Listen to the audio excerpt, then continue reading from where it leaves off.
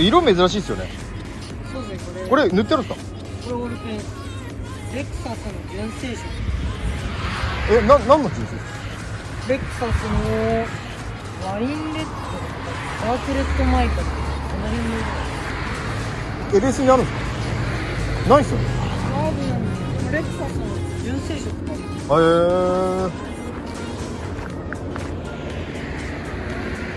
これどこのやるかって聞いたことある？これはで後ろがモードパルさんの違うんですね。サイドと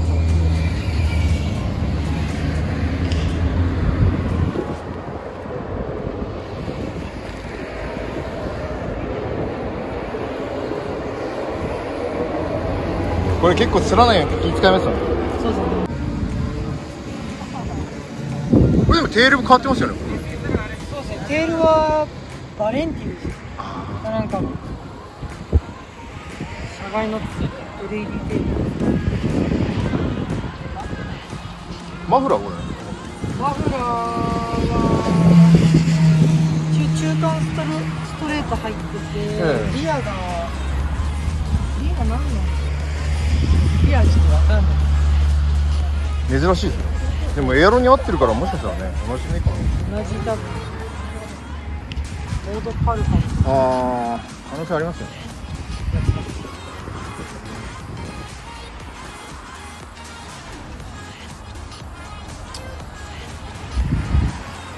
これホイールは？どちらの？ああこれリム深いっすね。これアームとか入ってる？んですワームは多分入ってない。入ってないです。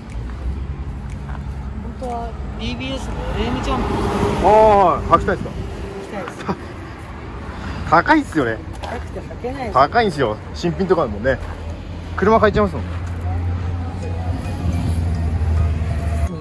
これってちょっと違うんですよね色そうですね普通のシルバーと違って。ななんだクローム？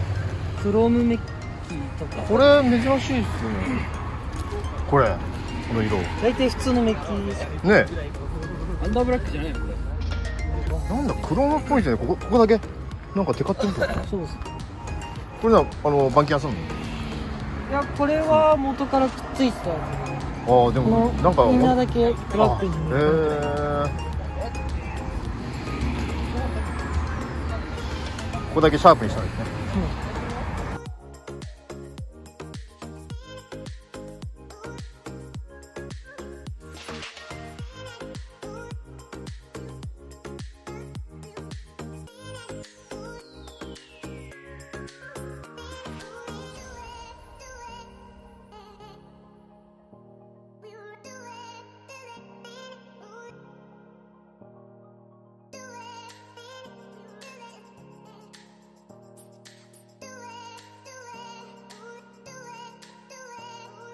you